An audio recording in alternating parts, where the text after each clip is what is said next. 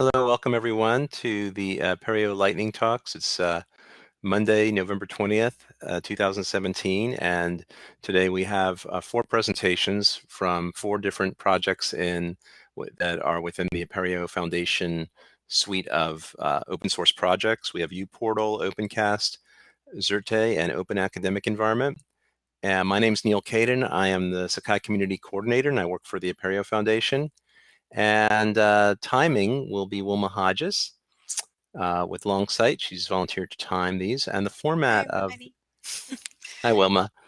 Uh, the format of these uh, talks is to do a five-minute presentation, followed by a five-minute uh, Q&A. And we're going to try and keep as close to possible as on time uh, to make it a true lightning talk. So um, we have the order set up here. So I'm going to go ahead and bring up the slides for Xerte, who's going first. And what I'll ask for each of the presenters is to, you know, briefly introduce yourself and um, and what you're talking about. And I see there's a little already a little squiggle over there. So my best. It worked. Okay, good. Here, let me give you presenter permission so you can go through your own slides. And when you're ready, just uh, just say you know just uh, start going and look in the chat window for um, like a two minute warning and one minute warning as time winds down for you. So uh, take it away, Inge. Okay, thank you, Neal. Um, hello, everybody. Today I'm going to talk a bit about Xerte Online Toolkits. Um, in five minutes, I can do a lot, but um, I'm uh, going to tell you a bit about uh, the new results page and also our XAPI and LRS um, uh, projects. Uh, I have 10 slides, so I hope I can manage in five uh, minutes, but I'll try. Um, my name is Inge Donkervoort, and I'm not going to tell everything that's on this slide. Uh, you can read this afterwards if you want to. Um, you see a picture of me. Um, it's I have to admit it's uh, a few years back, but uh, uh, uh, you can um, uh, when you see me now, I look a bit the same, but a bit older.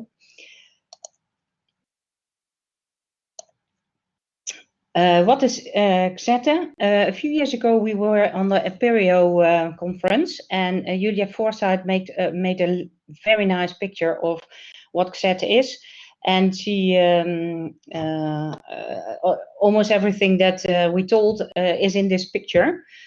But I will go through the what Xerte is um, in a in a nutshell.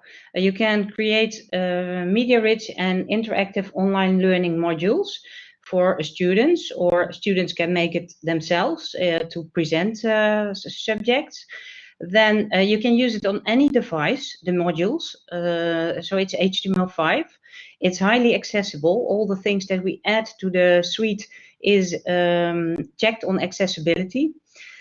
We have uh, different templates to use. There is a template uh, with uh, 64, uh, 46 different page types you can choose from multiple choice, drag and drop, um, fill in the gap, that kind of things.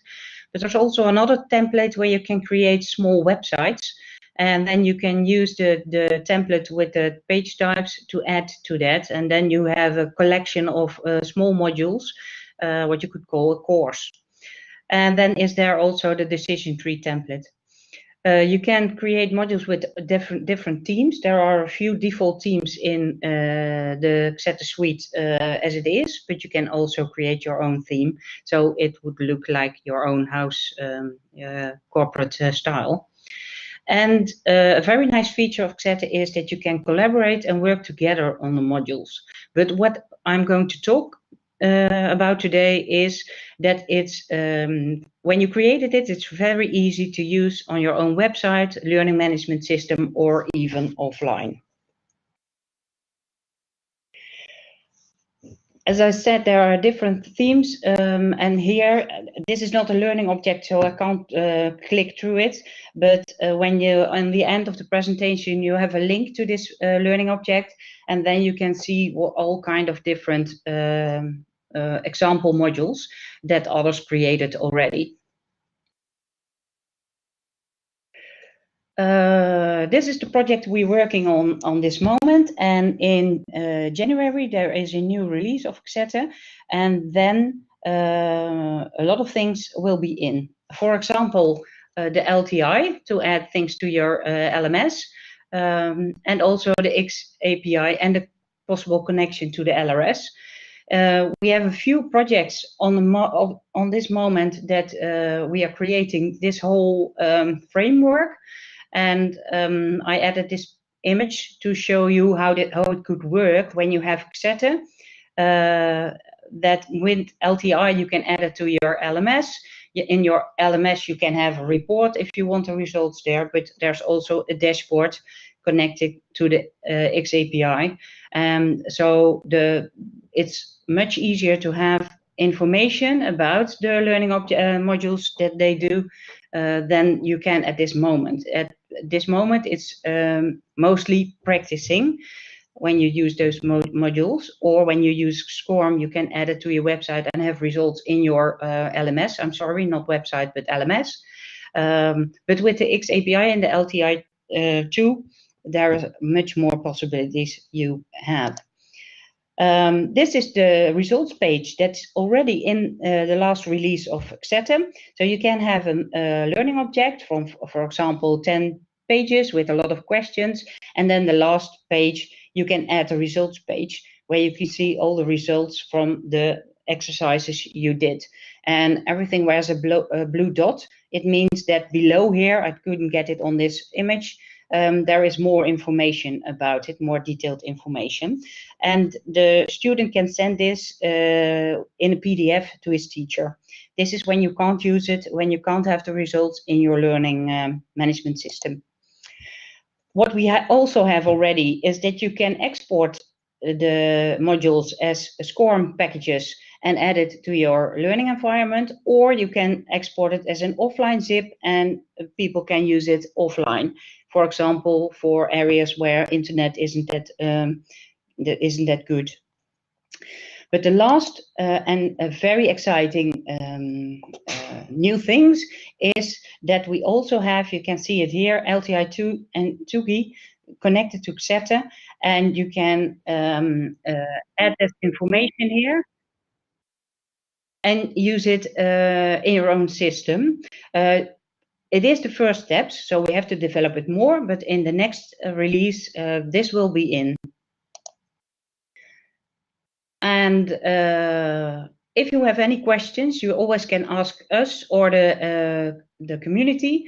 And this is the, uh, the link to the module. I see I make a mistake. There should be an H before it.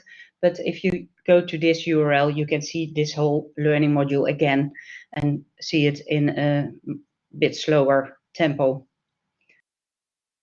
Okay, so uh, thank you very much for the presentation. You went a little bit over time, but we'll just uh, use about uh, you know three minutes or so, a little over three minutes for the questions, so we can kind of keep on track. Uh, one question I see is is um, is, is there, the PDF available? Yeah, I think uh, Becky, I think you mean this uh, this learning object, this PDF you can use this link or uh, I can send you the PDF or Neil can send you the PDF. Oh, okay. Got it. And so there's a question, are there plans for supporting Caliper in addition to XAPI? Yeah, I'm not the technical one, but uh, I heard that they are going to do some things that you can use both XAPI and Caliper. But how they are going to do it, I don't know, but that's what I heard. Um, so there's a couple people who are interested in whether there's a cloud hosted Xerte server for folks who don't want to install and host for themselves. Yes, uh, you can uh, uh, you can ask us or you can ask uh, Ron Mitchell. Uh, we both have servers where we can host uh, installations. Um, I have a question which is around the dashboard. Um, or what kind of dashboard are you using? Are you using one of like the uh, open source dashboard or something you develop custom? No, we are, uh, uh, hopefully we are going to use the open dashboard from the Apereo Foundation and uh, and also the LRS from the Apereo Foundation. So we, we try to use most of the tools that are in uh, Apereo.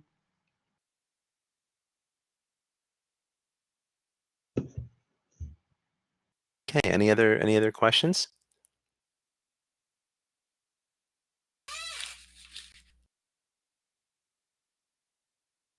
All right. Well, if there are no other questions for now, then we'll move on to the next presentation, which will be for OpenCast. And so let's go ahead. That thank would you. be thank you very much. And let's see, that's uh, Rüdiger Rolf, right? Right. Let me go ahead and bring it. Let me go ahead and bring up your presentation first, and then I'll transfer the uh, control over to you. Mhm. Let's see. Here we go. There we go. Okay. Now hold on. Let me give you the presenter permissions. And so now you should be able to have control Yep. to scroll through I yourself. And anytime you want to get started, then we'll start the timer. Okay, uh, I'm ready, I guess. So, Okay. hello, my name is Rüdiger Rolf. I'm working for the University of Osnabrück in Germany, and I'm a developer on the OpenCast uh, video management tool. So, um, and I want to present on the OpenCast annotation tool. It's an add-on project that we have for OpenCast, so it's not within the main core currently. There's some discussion going on if we should include it later, uh, but at the moment, it's um, yeah a separate tool with a separate purpose, uh, unlike the lecture recording that is the main focus of OpenCast. So um, yeah, the video annotation tool was uh, that's how it looked like, and I go into details later. But it's uh, it was um, designed uh, currently as an additional player to OpenCast, so it does not has have very much in common with the uh, basic idea of um, recording lectures. It's only that if you keep your videos within OpenCast, you can reuse them in this additional player. Its base, uh, its basic idea is to have a collaborative uh, environment uh, that is web-based, so that any user can go to the website and place annotations that are private or public and shared with others. So. Um, we have different types of annotations there. So we have um, free text annotations that you can use for transcriptions, for example. We have structured annotations that allow further analysis of um, the comments your users made. And on all these annotations, you can have a discussion with in more or less unlimited depth. So uh, users can reply on each other and um, um, you get a structured discussion on this. Um, so there's not an analytics component within the uh, annotation tool, but it's um, more used for scientific purposes so that you can export the data to Excel or even better SPSS or other um, statistics tools. Um, so yeah, you have different types of annotations. Uh, we have free text annotations. So um, while you are typing, you can tell the system to pause the video so that you can uh, yeah, create captions or um, describe the scene or whatever is needed within the context of your task that you asked your students or uh, your co-workers to do. And um, additional to this, what is more exciting, I would say, is uh, that we have structured annotations. Um, so um, as an administrator, you can create categories. Um, these, uh, so that's um, roughly the first line here. Um, then you have labels within uh, these categories, and you can even have um, user-defined scales. So one to three in this example, but it can be uh, words or whatever is needed for your context um, that you have here. Uh, categories, again, can be something uh, that the lecturer shares with um, his students so that they should follow the public categorizations, or you can have um, private runs if you want to have an additional uh, structure for your purposes. And um, with the I symbol, you can hide these annotations in the timeline. So um, the timeline is, uh, yeah, visible, um, helps to make visible what annotations you have at a current time, as expected. You can have several tracks per user, and uh, the user decides on the visibility. Um, you can import and see uh, tracks of other users. You can even use the tracks of other users for the export then as a printed version or um, um, yeah, um, uh, for the Excel sheets and so on.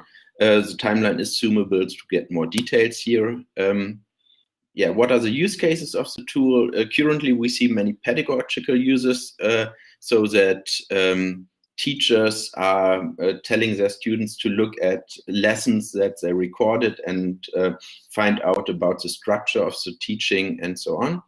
And uh, the other point, um, so you can use this uh, data, for example, then to compare teaching styles or um, how people behave. The other point is that we that it is used for supervision of psychotherapists, for example.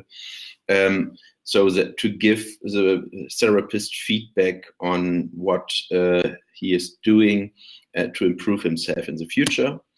Um, in the future, for the future development of the tool, uh, it is that the University of Bern, Bern is currently running a fundraiser to improve the usability of the tool and uh, to update libraries uh, that are used in the background and so on please contact David, uh, David Graf from the University of uh, Bern if you're interested to participate in this. And now I'm, um, yeah, thanking you for your attention and I hope I made it quite in time.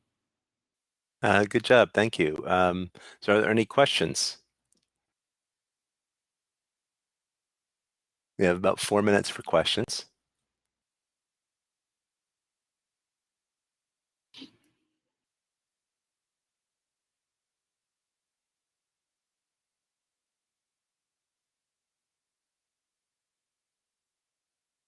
I guess your presentation was so clear, nobody has any questions in the moment. Yeah, so more time for the others.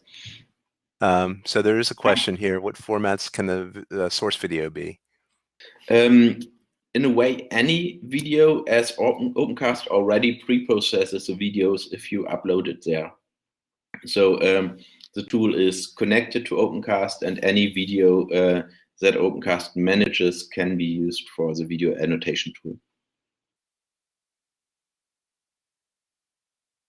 Um, I guess uh, we are currently in within the Opencast community discussing how um, we can connect better to other Opencast uh, to other Apereo projects. So I guess um, especially looking at Xerte, where you currently have, uh, as far as I see and only an upload options for videos that you host there. It might be a good um, way of um, improving each other's projects with um, uh, yeah improve um, uh, making Xerte um, uh, compatible with opencast i would say.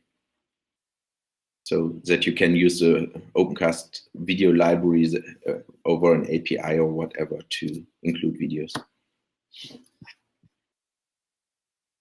And there's a comment there from greg i guess uh, um, about uh, OpenCast uses FFmpeg for processing in the back end. If FFmpeg can handle it, you can handle it.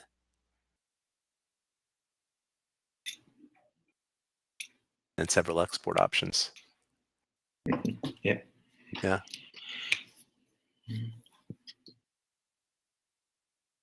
Well, great. If there are no more questions, then we'll uh, thank you for the presentation. We'll go on to the next uh, presentation which is uPortal. So let me go ahead and take presenter permissions back and up here and uh, bring up uPortal and hand the reins over to Jim Helwig. Let's see, here we go. All right, Jim, whenever you want to get started, we'll start the uh, timer. Great, thanks, Neal. So I'm Jim Helwig uh, from the University of Wisconsin-Madison. Um, I've been part of the uPortal community for 15 years, and um, for quite a few years now, I've served as the uPortal Steering Committee Chair. And so I will be talking today about the various ways members of the uPortal community can engage with the project. And when I use the term members, I include anyone with an interest in uPortal, this may primarily be individuals that are responsible for deploying uPortal, but it could also more broadly include those considering adopting uPortal or that are just uh, curious about the project. I am purposefully not limiting this to those that contribute code to the project. And while I'm focusing on uPortal, I think these reflections can more generally apply to other open source projects. And as I believe we can learn from each other, I'm interested in hearing uh, what may be working well in other projects. The critical takeaway that I want to leave you with is that everyone can engage with the project. And I mean everyone. There are many levels of engagement. I'll start with some of the easiest and work my way up to those requiring more focused effort. And perhaps one can think of these as levels. Once you have tackled a level, you can think about working to achieve the next level. The easiest way to engage is simply by observing. And that could be reading email lists or news posts, documentation, attending webinars, uh, etc. Admittedly, the project could do a better job of keeping all these materials, materials um, uh, current and attractive and interesting, but hopefully uh, the materials that are out there uh, will invite you to take the next step and actually try out uPortal. So wouldn't it be nice if you could just easily try out uPortal online? Uh, perhaps self-register in a demo instance and give it a spin. Well, we've actually tried this in the past, but for us, it took uh, quite a fair number of resources to maintain it over time, and we have since discommissioned our online, uh, decommissioned our online demo. But that said, uh, we are getting much better at making it easy for first-time users to just download uPortal locally and try it out on uh, their desktop and get a feel for how it works. Maybe someday in the future we'll be able to have something online uh, again. After giving it a look, ideally you want to deploy it at your institution. Uh, but so far, you know, these the what I've been talking about are really one-way levels of engagement. And what I'm particularly interested in is encouraging individuals to contribute back to the project. So how can you do that? Well, one of the easiest ways is to uh, just ask questions on the mailing list. Uh, asking thoughtful questions has a number of benefits to the community. It demonstrates active interest, increases the energy in the mailing lists, it invites others to answer questions, which is perhaps the next level of engagement and not just asking but answering. And it creates a searchable archive of that question and answer for others to find. Uh, the email discussion lists are also great places to share updates on how your institution is using uPortal. And that can provide ideas or inspire others to on the list to make changes to their um, local deployments. The lists are also good for sharing ideas about where you would like to see uPortal go and help influence the product roadmap. Another way to contribute is through sharing your successes or case studies in perhaps a blog post or newsletter article. And again, these can inspire others. Um, while you can certainly discuss bugs or issues you've discovered on mailing lists, it's particularly helpful if you report them by creating an issue in our JIRA or GitHub issue trackers. Greatly increases the chance that someone else is going to work on resolving that. You can take a give a presentation um, as a way to contribute. And there's uh, many opportunities for these, including the annual Apereo conference, uPortal community calls, ad hoc webinars, or in-person meetups like the uPortal Developer Days that we're going to be having at the Madison campus here in a couple weeks. Uh, we're also looking at encouraging people to produce short videos um, of presentations that can be shared. And since you can edit and re-record on your own schedule, that might be less threatening to uh, produce. You can also update uh, documentation as a way of kind of contributing back. As we put more of our documentation in GitHub, it makes it easier for us to maintain it. And if you see an area that's lacking or something that's correct, or even just a simple typo, you can go ahead and use the embedded online editor at GitHub to submit um, an update. And uh, as an incentive, you if you make four submissions, even of these documentation updates in the month of October, you know, you could get that Hacktoberfest t-shirt from the folks at DigitalOcean. And of course, we love having pull requests for bug fixes, enhancements, or new features. If you've done something valuable for your own institution, it is generally best in the long run to get that feature back into the core uPortal project. Not only does it benefit you in the long run, but it benefits other campuses that can use the same feature. But we also uh, have a few ways you can contribute financially. The first is becoming an Apereo member, and the dues there help uh, support common infrastructure uh, and organizational um, uh, tools that make the greater U Apereo community work. It's also possible for individuals to become friends of Apereo, not just uh, organizations. Beyond membership, organizations could become uPortal supporting subscribers, and these funds are targeted to supporting uPortal directly and are managed by the uPortal steering committee. And our current plans are to build up enough subscribers to hire a dedicated uPortal community liaison and release lead. And additionally, one of our commercial affiliates, Unicon, offers an open source support service, and much of the work that they do under that program is contributed back to the main uPortal project. You can also finally uh, look at joining one of the ad hoc or standing committees. The uPortal Steering Committee is going to be having its election soon. The Apereo Conference Planning Committee is ramping up. And uh, there may be an Apereo Web Presence Committee starting. Um, there are also other many uh, meetings or opportunities to join a committee or discussion on a specific topic like the uPortal roadmap, future layout management, or accessibility, or something like that. But thanks for the engaging that folks already do. And I encourage you to look at how you might be able to level up to the next type of engagement. Thank you, Jim. We have uh, two or three minutes for questions. and beyond questions, if there, I, will certainly answer questions, but I have a question, and that is, um, have folks on the other projects uh, done some other type of uh, uh, way of engaging people in the community to share and uh, contribute.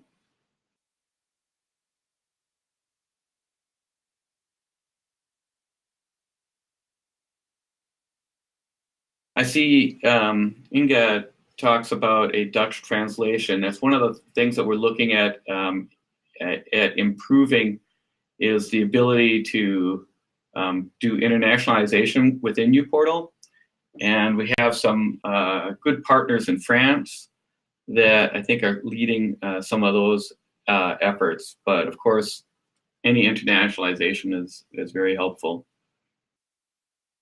And please, please read the questions out loud also, which you did, I think, a good job there. So it gets in the recording. Well, I'll, I'll go ahead and uh, reiterate Martin's uh, question that I see here um, about a subscription service through UW Madison.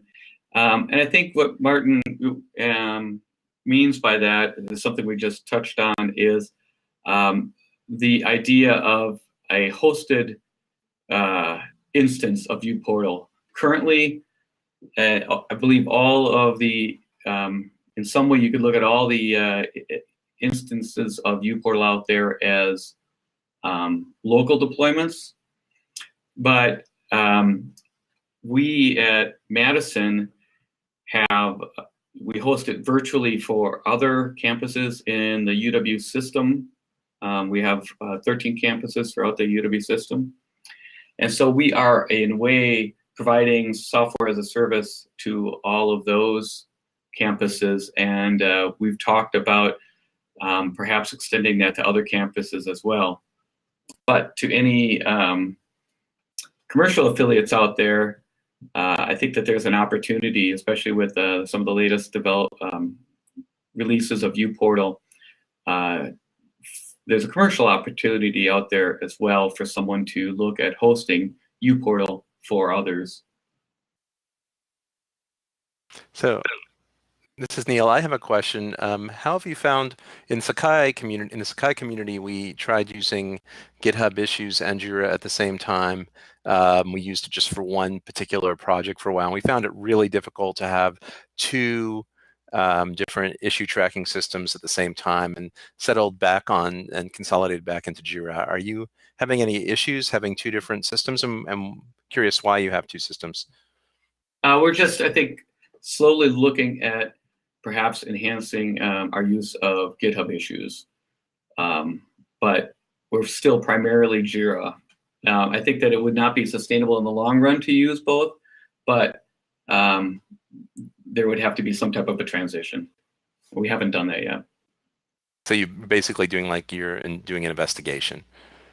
Um, I think because we're breaking into a number of um, separate repositories, so some of the newer components of uPortal are making more use of GitHub uh, as opposed to Jira. So it's it, we're kind of segregating it that way.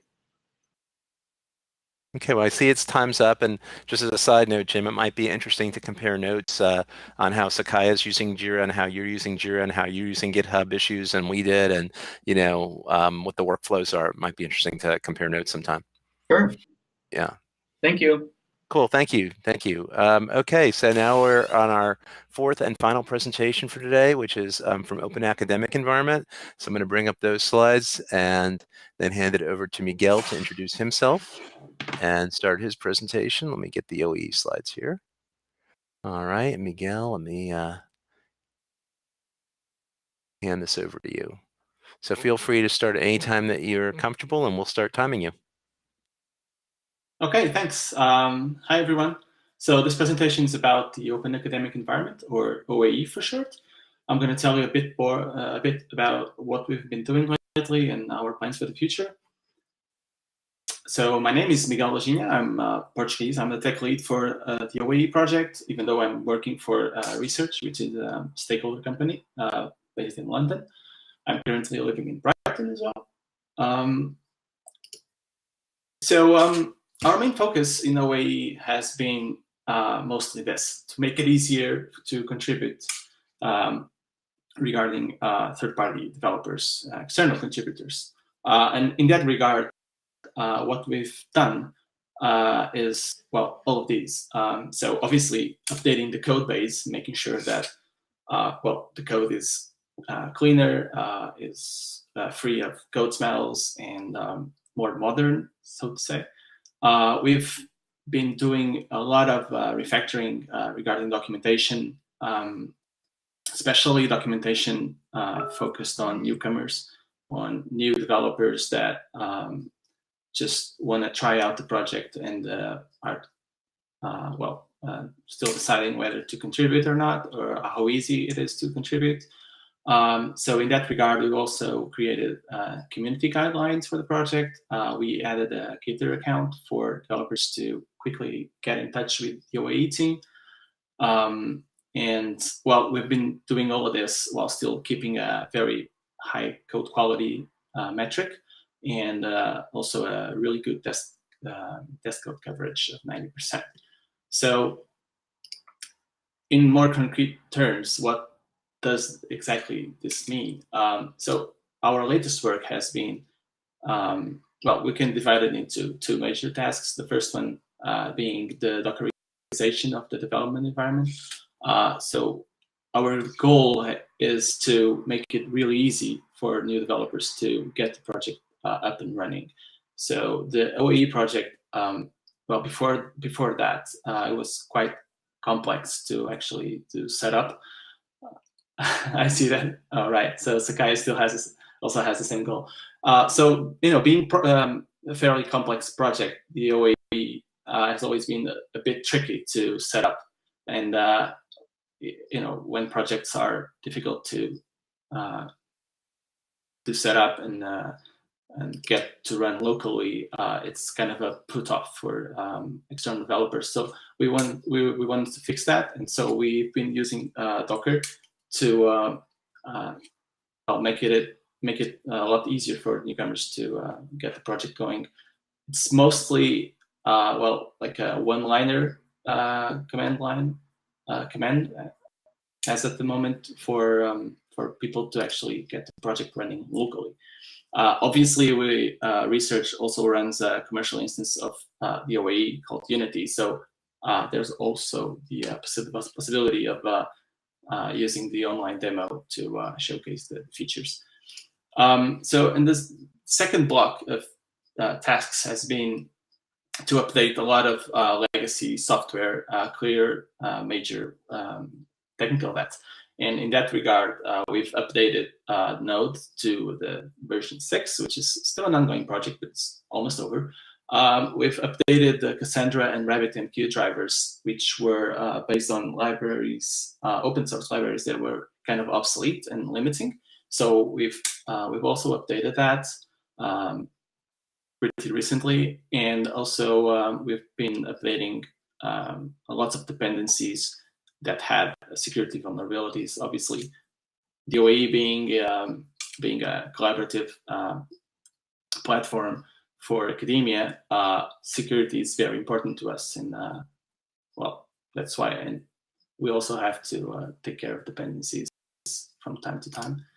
Um, in what comes to future work, um, there are uh, four different uh, blocks or tasks the first, the first, uh, sorry, the first one being uh, integrating with Stencila. For those of you who don't know, Stencila is um, kind of this interactive uh, editor based on um, uh, on Texture, which is another open source project.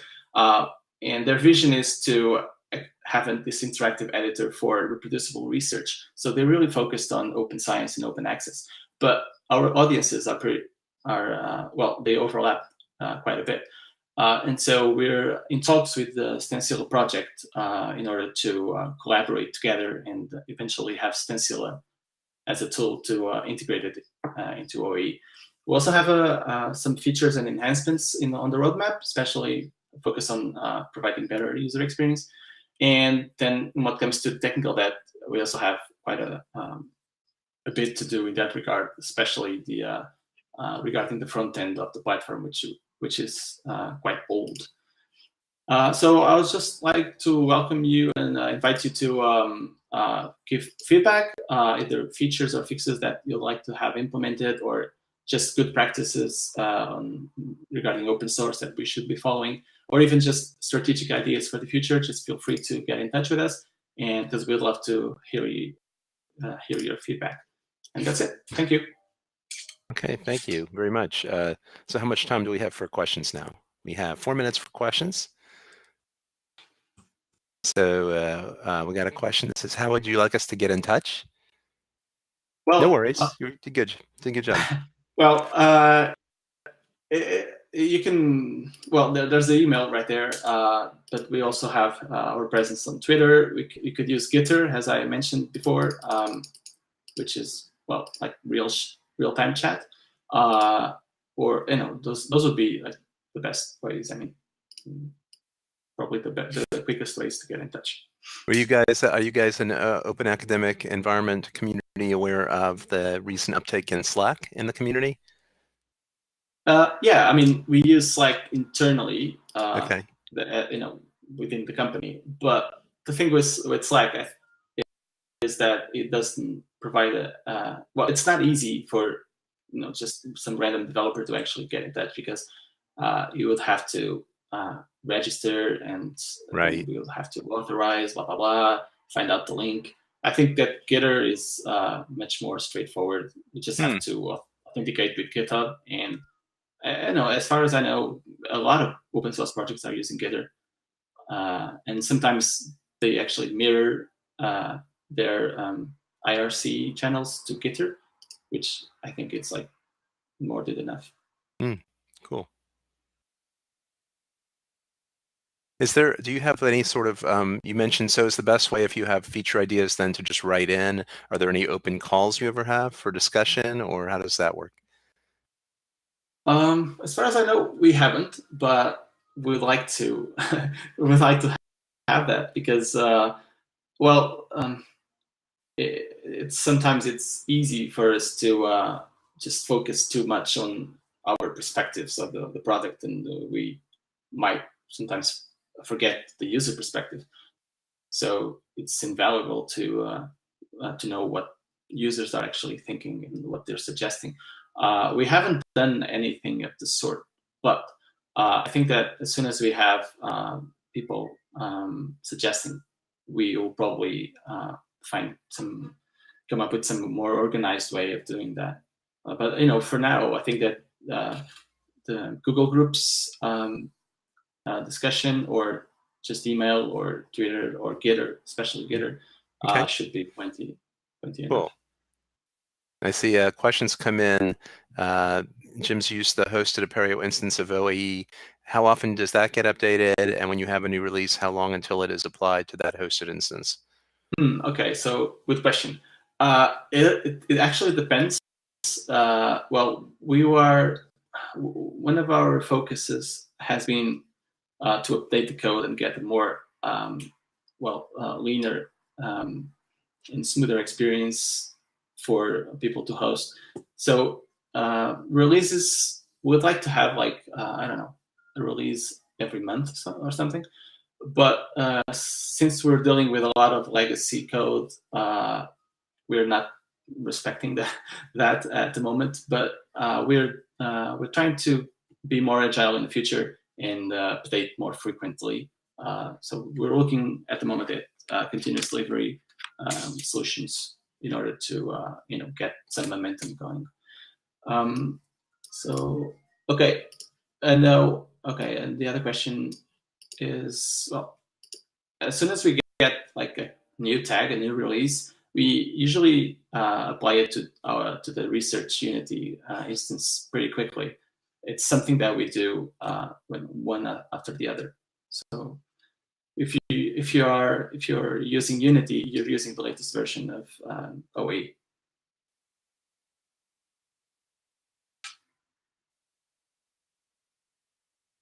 Yeah, it seems like probably setting up frequency re to releases. Uh, Jim mentions uPortal aspires to release more frequently. Hasn't happened yet. I can say in Sakai we've had that discussion many times about uh, sometimes trying to have like a time boxed, you know, getting a release out in a certain time frame. But it's it's really there's a lot of challenges that come up. Uh, so we're not able, you know, there's a lot of times we're not able to do that. So I think that's probably a common challenge across uh, across projects for various reasons. So thank you so much for your presentation, uh, everybody. Uh, I see you're you're going to get there. it's good optimism. Um, thank you everybody for attending. Are there any kind of uh, so I guess just a final to close out? I just want to say thank you to all our presenters and all the projects and um, or this will be recorded and it will be posted up on the Apereo YouTube channel. And uh, this really came out of the FARM initiative, which is Funding and Resource Model Initiative, which is trying to find ways to make uh, to help each other to get resources for the different initiatives we have on our respective projects and maybe also get some cross pollination. So hopefully this went a little bit towards that that uh, end in terms of the thinking and appreciate everyone's uh, participation. So I think we'll sign off now and, and thank you all. Take care. Okay, bye-bye. Thanks. Bye.